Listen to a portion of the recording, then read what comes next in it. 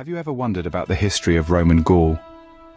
This vast region, encompassing modern-day France, Luxembourg, Belgium, and parts of Switzerland, Italy, the Netherlands and Germany, experienced a complex history under Roman rule, spanning from the 1st century BC to the 5th century AD. The Roman presence in Gaul began in earnest with Julius Caesar's campaigns from 58 to 51 BC, detailed in his work Commentarii de Bello Gallico.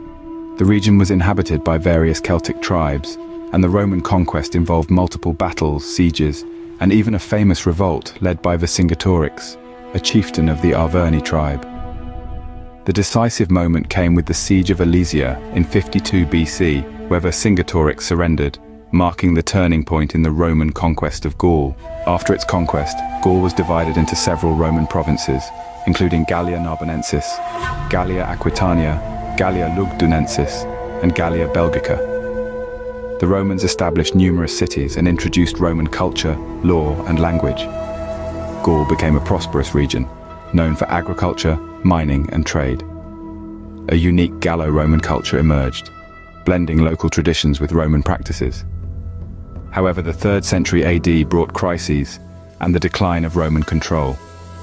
The Roman Empire faced internal turmoil and external threats, causing economic disruption, political instability, and barbarian invasions in Gaul.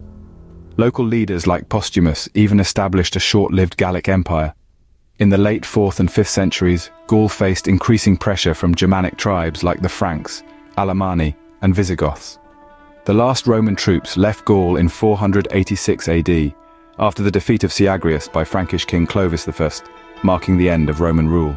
The legacy of this period is still visible today, the Roman influence left a lasting impact on Gaul, visible in the evolution of Latin into French, the law, urban planning and cultural institutions. The Gallo-Roman period laid much of the foundation for the history of France and neighboring regions. So, to summarize, the history of Roman Gaul is a tapestry of conquest, integration, crisis and legacy.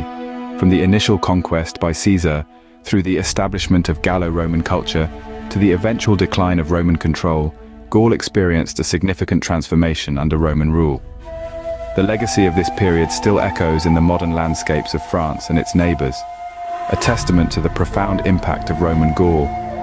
Thank you for watching, and subscribe for more.